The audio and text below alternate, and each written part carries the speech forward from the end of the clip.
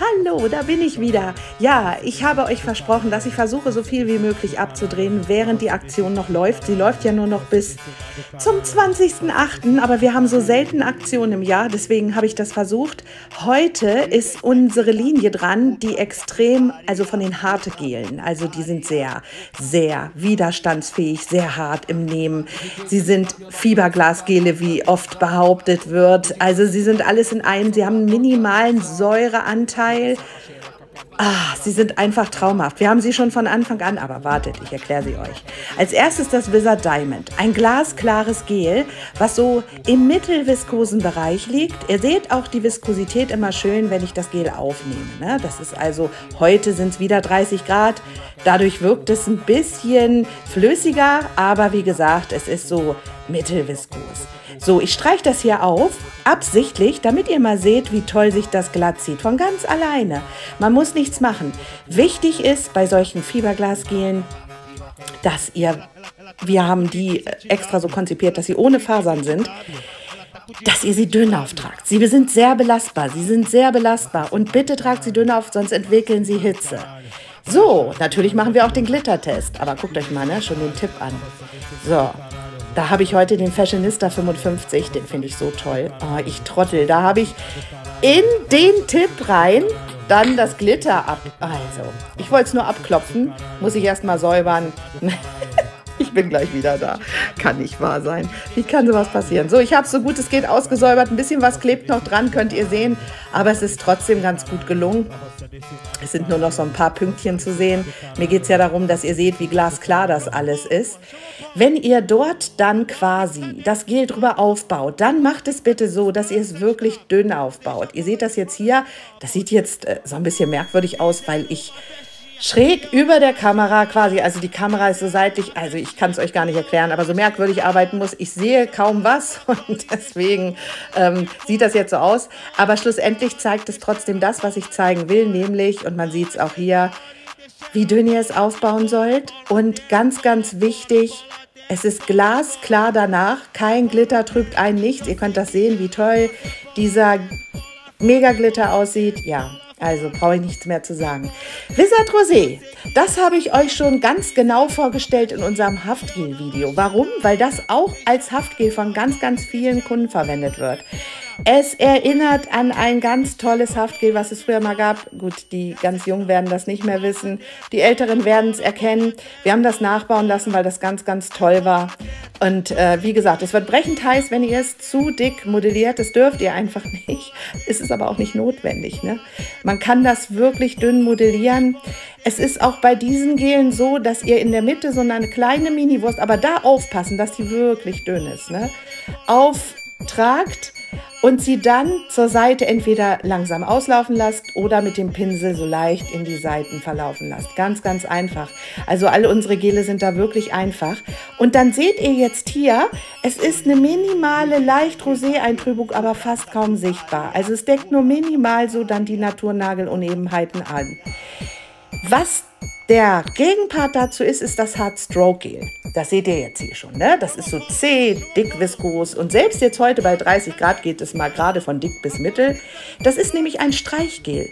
Keiner bringt das heute mehr raus. Wir sind diejenigen, die es gemacht haben. Und das ist jetzt schon seit fast sechs Jahren mega erfolgreich. Ihr könnt nämlich dieses Gel streichen. Ihr seht das nämlich jetzt hier. Ich will euch das, so sollt ihr es natürlich nicht machen, ne? Das ist jetzt nur mal, dass ihr seht, wie zäh sich das verhält. Ganz, ganz toll. Das ist nämlich schön, ihr könnt das schwebend aufstreichen. Das ist wirklich wichtig, denn so erhaltet ihr schön stabile Nägel dann und ihr könnt streichen. Das ist gerade für Leute, ja, man muss es mal so sagen, wie es ist, die keine Überlängen zum Beispiel haben und gerne ein Streichgel auftragen möchten. Aber wie gesagt, mit dem Gel sind sogar schon Stilettos gemacht worden. Nur da müsst ihr dann auf Statik achten. Ne? Ganz, ganz wichtig. Aber auch hier bitte dünn modellieren. Ne? Aber guckt mal, wie es sich auch wieder glatt gezogen hat. Das ist so toll. Die Gele sind wirklich super. Auch toll für Anfänger, die einfach am Anfang streichen wollen. Streicht ihr dann zwei bis drei Schichten auf. Es ist einfach so einfach. Es ist so einfach. Es ist wirklich toll. Und die sind mega. Also es ist schon sehr nah an Acryl, wenn es nicht schon genauso wie Acryl. Aber da sind die Brush and Go noch mal eins härter. Also ich würde sagen, sehr nah ran an Acryl von der Belastbarkeit, Widerstandsfähigkeit richtig, richtig toll. Und äh, lasst euch bitte nicht immer erzählen, dass man für jeden Nagel ein anderes Gel braucht. Ich kann nur sagen, früher gab es nur Acryl und dann gab es eine Sorte Gel und das ging auch für alle. Also bitte lasst euch da nicht immer verunsichern. So, hier ist es so, wie es wäre, wenn ihr es streicht. Ihr seht das gerade. Das bewegt sich, wenn man streicht, gar nicht. Ne? Ihr seht hier noch die Pinselstreifen. So, das streicht ihr auf und dann wartet ihr so kurz. Guckt mal. Und schon ist es glatt, keine Pinselstreifen mehr. Auf einmal sieht man nichts mehr. Und dann kann es unter die Lampe. Also wie gesagt, das ist ein bombastisches Gel, seit Ewigkeiten erfolgreich. Ach, einfach schön. Natürlich haben wir von der Linie auch zwei Cover. Da ist übrigens noch was zu, sagen. Die haben einen minimalen Säureanteil. Ne? Also der ist minimal, aber er ist da. Für viele hoffnungslose Fälle oftmals das letzte Mittel, was da hilft. Ne? So, das Silky Rose, ja, auch seit Ewigkeiten ein Bestseller. Es ist total beliebt, weil das einfach so ein fluffig, süßer, Roseton ist, der so einfach ganz toll ist. Das ist, das ist wirklich so, so schön. Und deswegen, ja, wenn ähm, ihr das bei der Kundin einmal auftragt, weil ihr vielleicht mit einem Cleargel arbeiten wollt oder mit Glitter, reicht das auch, denn das auf dem Nagel ist das echt total deckend.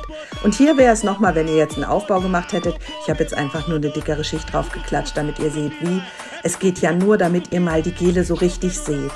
Das gleiche, gleiche Konsistenz, gleiche Art ist das Candy Rose. Nur das hat ein paar mehr minimal mehr bräunliche Anteile drin, aber nur minimal. Ihr könnt das jetzt hier schon sehen und dadurch wirkt es wirklich auch wie so ein Candy. Ne? Es ist so wirklich, wirklich, ja, es ist ein bisschen, äh, ja, wie soll man sagen? Naja, eben anders. Ihr seht es. fehlen gerade die Worte, ich kann es gar nicht erklären. Hier seht ihr jetzt nochmal, da könnt ihr den Unterschied jetzt schön sehen. Ne? Wir versuchen halt immer alles abzudecken. Und die beiden sind absolute Bestseller, auch schon seit Jahren und werden natürlich auch nicht aus dem Sortiment gehen. Ja, und aus all diesen Tiegeln mache ich natürlich auch wieder Quality Check Tiegel, die vergünstigt in den Shop kommen. Denkt dran, die sind immer schnell weg. Gestern bei dem Brush and Go, ja, die waren immer innerhalb von ein paar Minuten weg. Das ging ratzfatz. Wie gesagt, es, es ist immer so eine Sache, ob es die Leute mitkriegen oder nicht. Wenn sie es mitkriegen in unserer Facebook-Gruppe, gebe ich das natürlich auch bekannt. Ja, dann ist das natürlich auch meistens schnell weg, es sei denn, es ist Urlaubszeit. Obwohl die ist ja jetzt auch. Ja, jetzt kann ich nur noch sagen, wem es gefällt, der bestellt. Schönes Wochenende, ihr Süßen.